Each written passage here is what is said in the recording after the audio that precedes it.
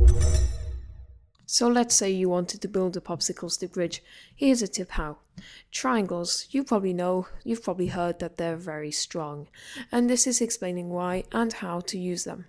Now, the red arrow that has just been put at the top shows the first pressure on the triangle, the compression. The two on the sides also show compression, and the two at the bottom tension.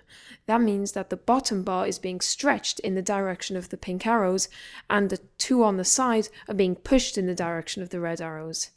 This means that the weight is distributed evenly around the triangle. I will demonstrate this using magnetic rods. Here we have a triangle. I'm pressing very hard on the sides and it doesn't break. So that means that it is perfectly strong. It is distributing its weight evenly. Now let's try with a square. As you can see from the start, it's very flexible, so that probably means that it won't distribute its weight evenly.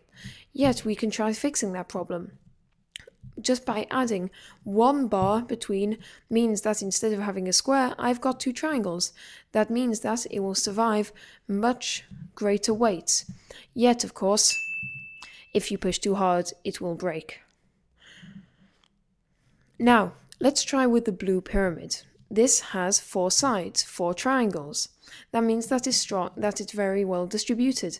The weight goes through the three rods sticking up to the top point, and that means that you can press very hard on it and it won't break. Yet, of course, if you hit it, it will. Now let's try this with a cube. A cube has six sides, each of which are squares. This, as you can see from the start, is not going to work. Just simply by letting go of the cube makes it break. Now let's see how triangles are used in very famous architectural works. See the Eiffel Tower? There are, you might say there are squares, yet each square is four triangles, and on some of the squares the triangles are even more triangles. It's triangleception. And this means that the weight is distributed evenly. Even the entire arch of the, of the Eiffel Tower is a triangle. Here we have the Wembley Arena. The circle around the top is a triangle. The arch around the top is made up of triangles. They're everywhere. And architects know that this is a strong choice, so that's why I recommend this in popsicle stick bridges.